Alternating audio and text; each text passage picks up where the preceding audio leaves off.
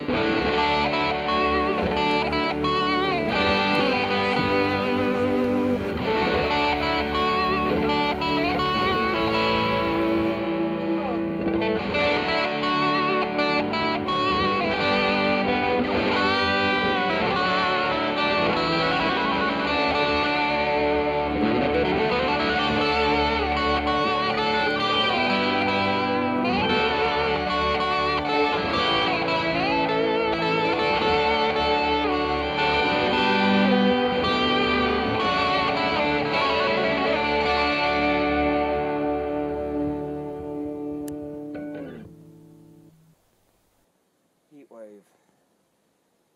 It is extraordinarily hot.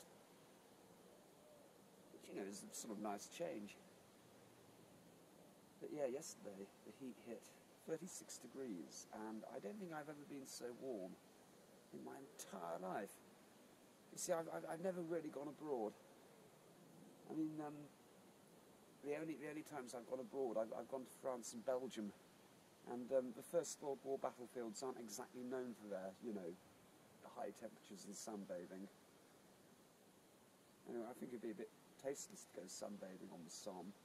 Uh, but anyway, I, I, I digress. It's, it's, it's very hot, isn't it, Jack?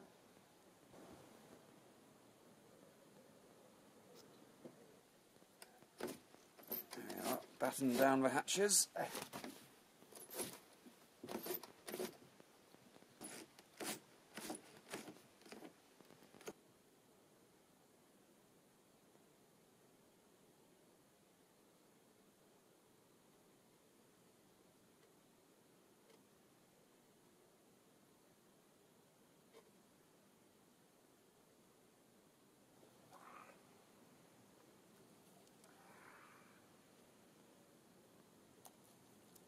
Well, on a day like today when it's this hot, there's really nothing for it but a little Italian hokey pokey for breakfast. So, cheers. Mm. That's lovely, thank you.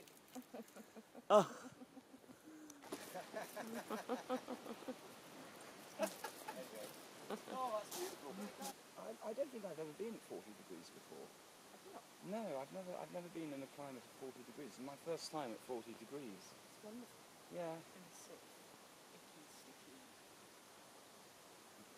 Oh, bless them. You can, cocktaily way. you can stick, yes, that's it.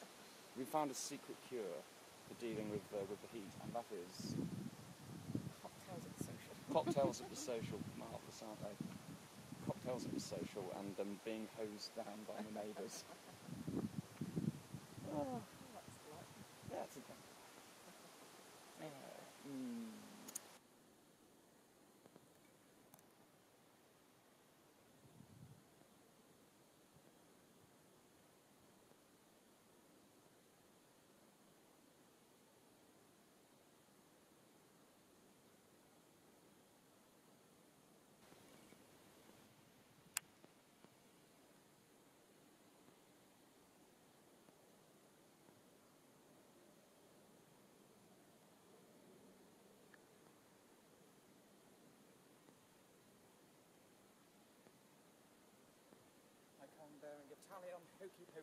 Oh, what have you got?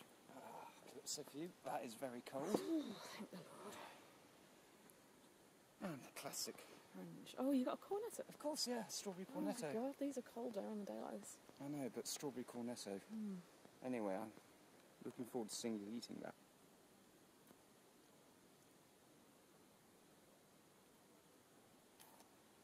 Me, do you want some? That's all right, love. I'm, I'm enjoying watching you.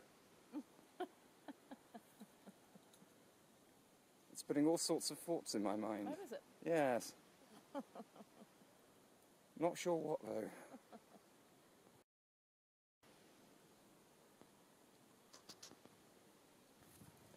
Mm. Enjoying that, Ted? I just know there's nothing better than a bit of Italian hokey pokey on a day like today. Mm. Is this putting thoughts in your head? Yep. Mm.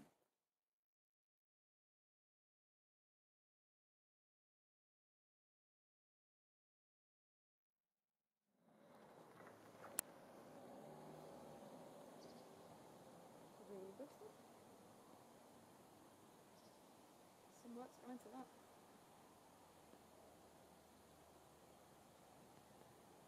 Billy darling, this is the boat I've blacked.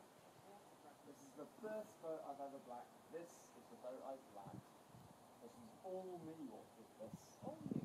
All me. Single handed. I blacked this boat.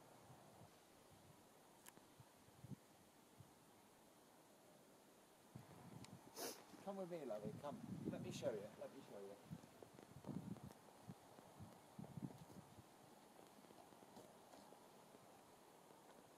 This is the first boat I've ever blacked. It's the first boat I've ever blacked. How are you feeling? I'm really proud. I'm proud. Mm. That's what I feel. I feel proud of this. Because I blacked this boat. Mhm. And I'm proud of the work. I take pride in my work. And, you know, I treat it like it was my own boat. As if it was Ella herself. But I'm proud that I've, you know, And how many days did you do? Uh, it took three days. Mhm. Uh, the first day I had to jet blast it. Second day was the first coat. Mhm. And then the third day I put the final coat on. But that's that's my boat. I have blacked her. Mm. So, It's you looking know, really good, yeah. come on, you know, is not- it. It's drying off now. It's drying off now. But this is this is all my work, and this is a really wonderful thing, which I don't, you know, normally I've been doing. Normally I've been doing white collar jobs, you know, selling advertising or all that kind of nonsense. But every time I walk into this marina and I see this boat on the hard standing with her lovely shiny black coat, I'm like, Carry on. I did that. I did that. No one else but me. I jet washed her and I blacked her, and it was just me on my own that did all this, and I'm proud of that. I'm proud of that. And I think the other thing I really want to say is, um, you know, the reason I'm doing this, and again, I didn't, I didn't make any money doing this. I didn't make any money because I'm so much in debt to marina. So basically, this is all labour that I have done pay off my debts to the marina.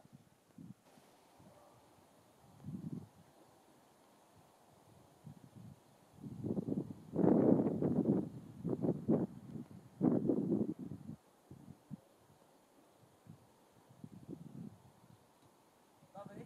Mm. Missed a bit. Have you? I've missed a bit. I've missed a bit, so I better do that. I'm go- I've missed a bit, so I'm going to do another wee bit, okay? But you get it on film? Doing it now? Yep.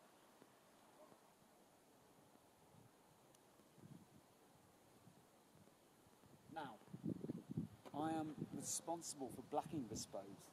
Like I said, I was having a quick around while I was showing off to the camera and realised I missed a bit. I'm not going to stop now, so I'm going to do a wee bit now. Come with me, love. Come. I'll show you what it's, I'll show you what it's like.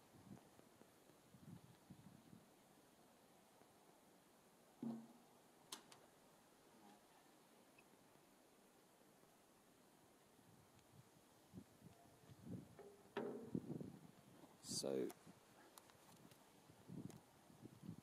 I've missed a bit there. I missed quite a big bit there. And I can't have. Now I should be.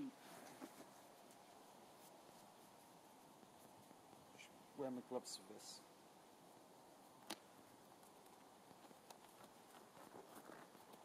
And it was it was very nice of marina. They gave me these overalls and they gave me the gloves, and it was very very nice of them.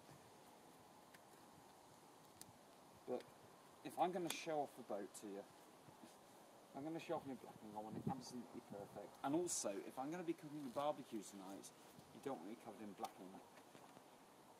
I'm going to get this absolutely right.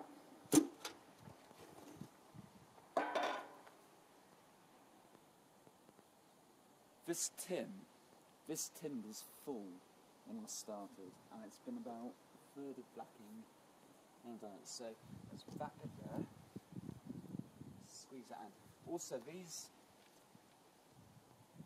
these the strakes, these are really very very difficult to black because it's very hard to get your, your in, but I'm not having any boat. No boat under my command is going to be inadequately backed. No boat under my command is going to be inadequately blacked. There's a wee bit there too. 'Cause of course, you know what it is.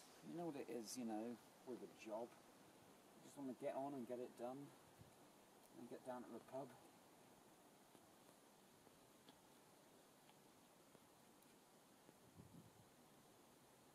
Can't even afford to go to the pub. And despite being in ABC colours, I'm still bathing the Weybridge. Come on, just that. with the job, love. Fancy that. Fancy that. Can you just make sure that you don't have lines? Even it out, yeah. Okay, take a close up.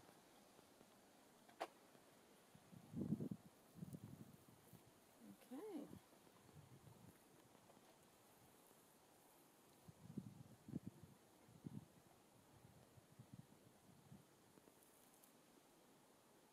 Now, darling, can you see any bits I've missed? No, it's all done. It's lovely. No, no bits I've missed. No. I missed a couple of bits there, but they're done. Okay, that's good. Great. And we've got it on film. Yes, we have. Hey. What about these little bits? Those bits? Yeah. Well, what happened there was they're going to repaint all of that. Oh, I. So I had to paint there, and I had to leave that bit dry just for the paint because if you put the blacking on, the paint won't go. So that was what I did. But yeah. Underneath of that? Well, you do underneath on this plate. Yeah. Not under that. You don't do underneath on that. You don't do underneath on that plate, but you do. Just took two hours to do the last today's coat. Uh, yeah, today's coat. It's- the second coat is easier.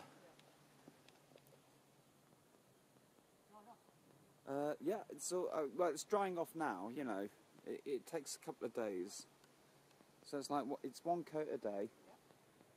But yeah, she's all right. How many tins of paint do you get through? Um, I got for about one third, one third of a tin. Yeah, about one third of a tin. Also, this anode. You see this, love? That's the anode, and they're going to replace that anode. So that's why I've left a little square. Left a little square there because we're going to replace that. Oh, I am Ted Dibnah. I'm Ted Dibnah. That's fine, you got a job, isn't it? It was wonderful. The Industrial Revolution brought so many boats to Lancashire. That's my Fred Dibnah impression. Let's hope these happens.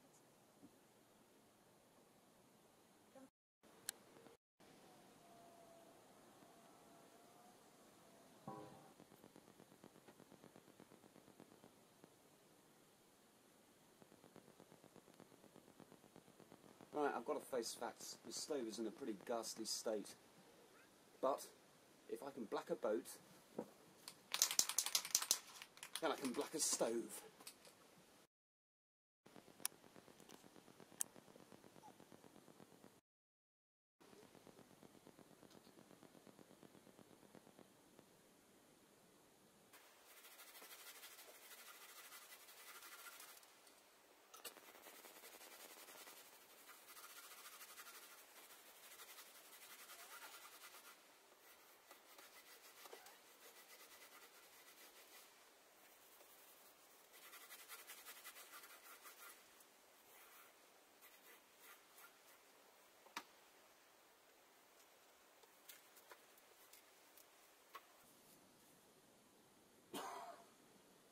body.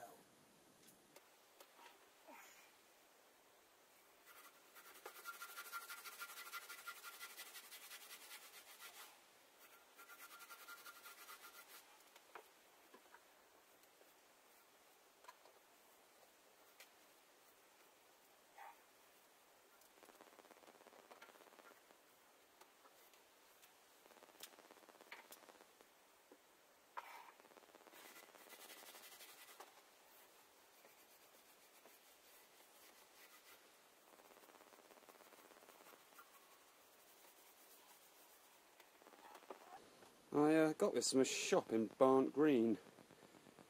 Uh, I think, quite honestly, I prefer to be painting it with a brush than spraying it, but let's see if the spray works, shall we? Ooh.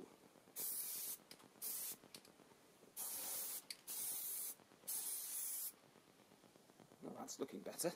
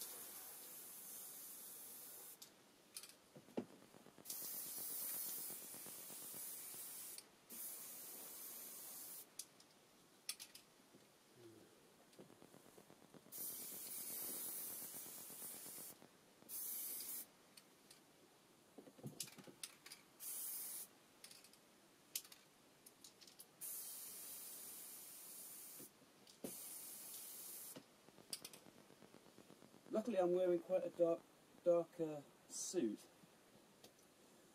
Luckily, I'm wearing quite a dark suit. And luckily, Jack is a black cat.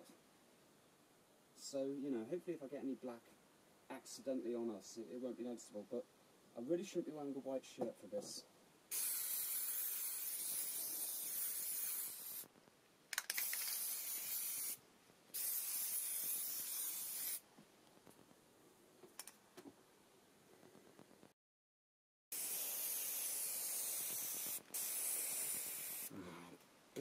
I've blacked stove, but not all of it. All I can say is that using a spray to black a stove is really inefficient. It's just. I mean, it's looking better, but it's not completely done. So, um, high temperature stove paint, hot, uh, just get some paint and do it the proper traditional way with a brush. That's what I'd say, because this is just. It's not really the. No, no. No, 2 out of 10. 2 out of 10.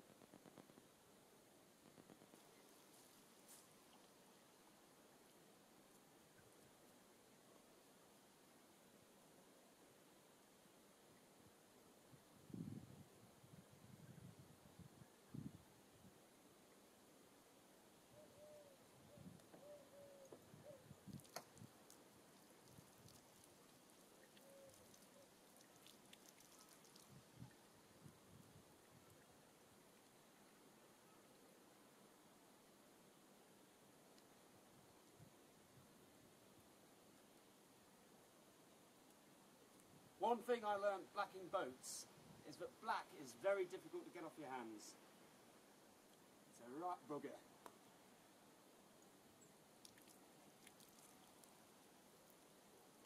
whether you're a monarchist or not, I think the thing is, you know, the monarchy is something that's outdated. Uh, any other monarch than the Queen, she's been around for 70 years. She's kind of, you know, she's gone on that, she's gone on coins and cars. What now? I think that's the sense for most people. Uh, here to her, there is a poignancy, isn't it, to the fact that, that this is the place that her family are, are now coming to see her. It is. I mean, it's where the family spent great happy times. I mean, at the death of Prince Philip, there are pictures of the family released at Balmoral. So yeah, it's a, it's a special place. It's a place where the Queen, I think, would, would want to be. Actually, coming behind her, behind him, to be much smaller. Dr. Anna White. I picked a very bad day to black the stove because it didn't half rain.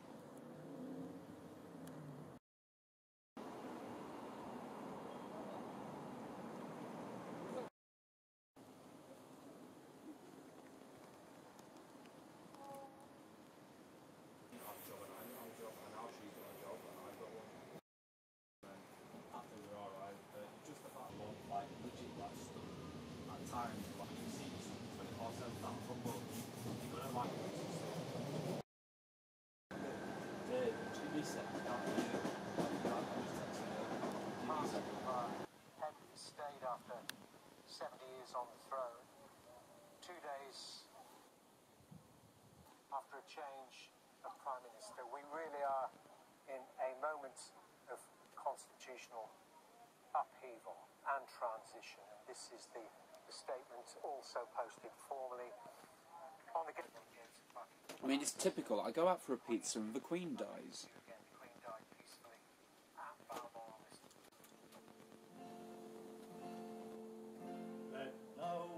Say for graft I lack, for while there's boats and stoves too black, I'll roll my sleeves and earn me pay over the hills and far away.